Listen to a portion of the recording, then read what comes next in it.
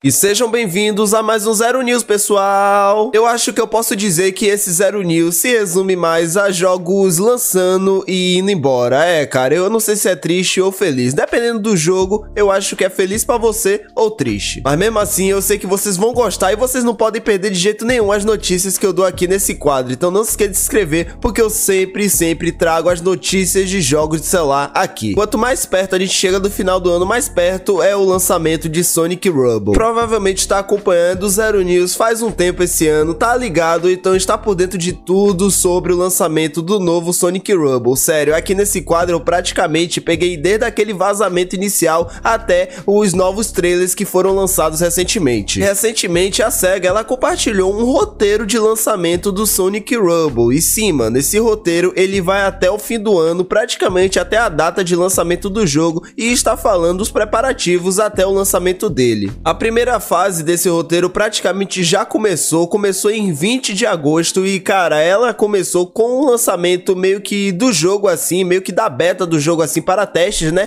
nas Filipinas. Velho, eu ainda preciso entender por que a maioria dos jogos celular sempre tem o lançamento da beta nas Filipinas, mas o jogo começou lançando nas Filipinas e só quem é de lá consegue jogar. Mas não se preocupe porque ao chegar em outubro, praticamente vai se iniciar a fase 2 do lançamento de Sonic Robo lançando também para o Peru e Colômbia, é óbvio que só para testes, porque esse ainda não é o jogo oficial para o lançamento, a SEGA está apenas testando só com alguns jogadores de regiões específicas para eles verem se dá para melhorar mais um pouco, se dá para deixar assim mesmo. É, a gente vai vendo isso conforme o tempo vai passando. Mas o mais legal de tudo é que com, esse, com essa segunda fase do lançamento do jogo também vai começar a ser aberto as pré-inscrições para a gente fazer, né, para o lançamento global e é óbvio que a gente vai ganhar alguns itens para quem se registrar antes do lançamento. Mas agora eu tô muito mais curioso do que nunca para ver o lançamento desse Sonic e como ele vai se lidar agora, velho, já que além de Stumble Guys, velho, como concorrente também tem um Fall Guys que lançou recentemente. É, cara, agora eu quero ver o que a SEGA vai fazer, mano, com a gente tendo praticamente três opções de jogos no estilo Fall Guys no celular. Eu vou falar a verdade.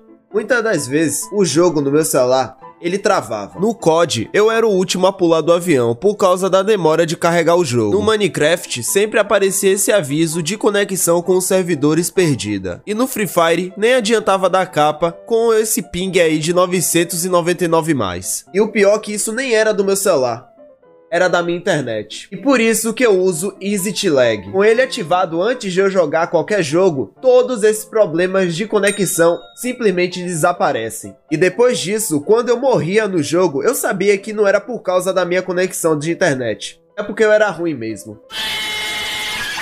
EasyTlag, melhore o seu ping. Link para download na descrição para me ajudar.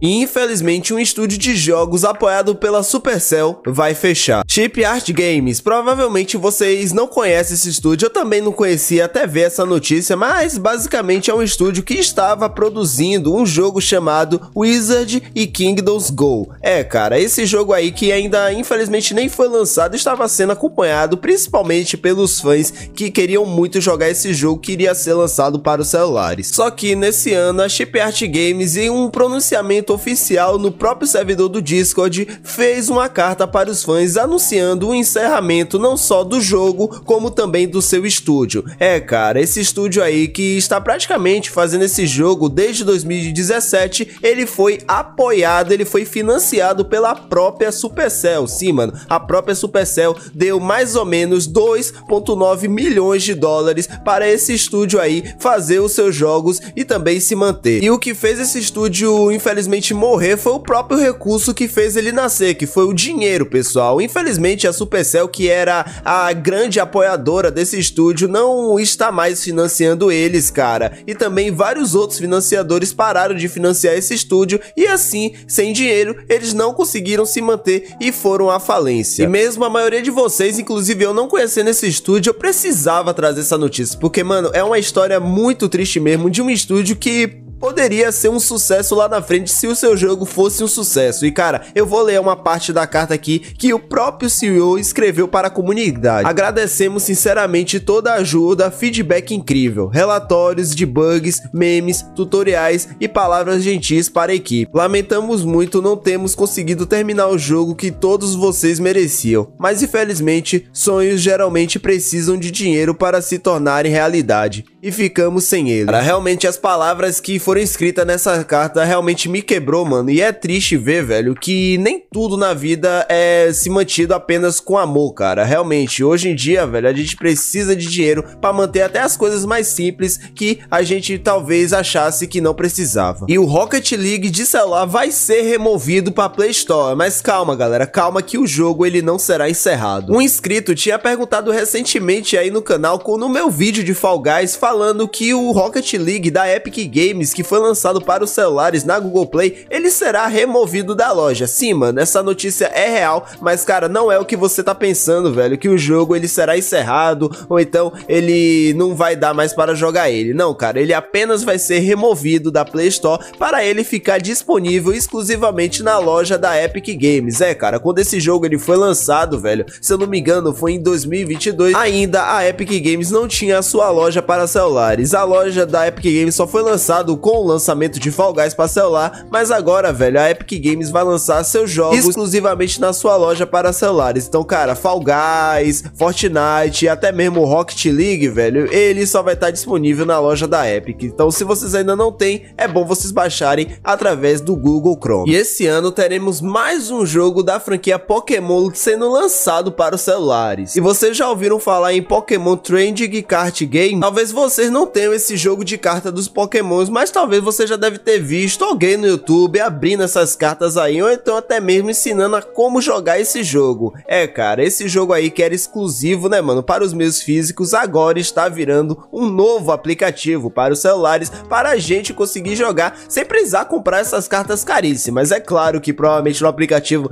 vai ter compra sim de pacote para a gente comprar através do meio virtual, mas eu chuto, mano, que talvez tenha alguns pacotezinhos ali mais simples para a gente conseguir comprar e conseguir assim jogar virtualmente. Cara, esse novo jogo aí foi anunciado em um evento de Pokémon aí recente que aconteceu e, cara, esse jogo basicamente veio com um novo trailer de anúncio mostrando ele e também mostrou a data de lançamento que por enquanto está para 30 de outubro desse ano. E, cara, vamos ver se até lá esse jogo vai ser realmente lançado, né, velho? E vamos ver como é que ele vai funcionar aí, velho, através dos celulares. Eu espero que ele seja muito bom, sério, eu espero que ele não seja pay to win, né, mano? Que os, os que comprarem os melhores pacotes vão ter as melhores cartas e logo vai ganhar todas as partidas. Eu espero que ele não seja assim, eu espero que ele seja mais justo, mas eu tô muito curioso para ver, cara, porque eu, eu queria muito entender como funciona esses jogos de carta do Pokémon, velho. Infelizmente, eu nunca tive a oportunidade de conseguir comprar várias cartas o bastante para eu conseguir jogar, porque realmente esses pacotes são muito e muito caro mesmo. Mas eu acho que com esse jogo aí, né, velho, de jogar essas cartas aí virtualmente,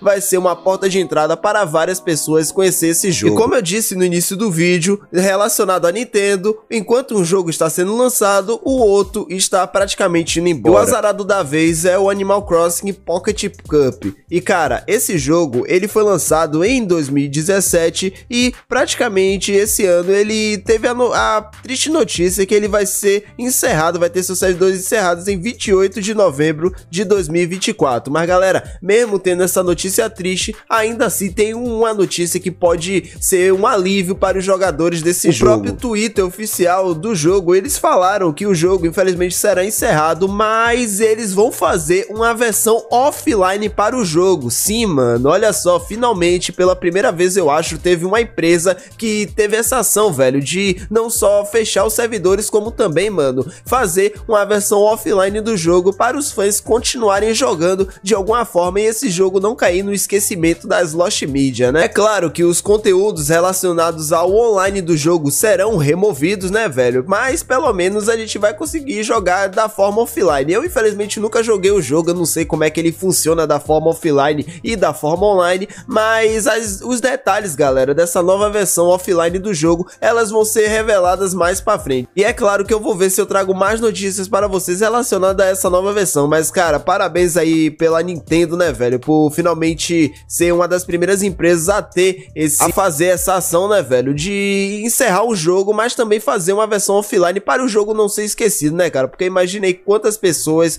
compraram vários itens no jogo e não vão poder usar por causa do término de um servidor de um jogo. É, cara, é triste, mas pelo menos esse jogo se safou aí desse esquecimento. E galera, eu espero que vocês tenham gostado desse vídeo, mano. Esse foi o Zero News. Muito obrigado a todos que assistiram. E pessoal, eu vou ficando por aqui, beleza? Então valeu, falou e fui!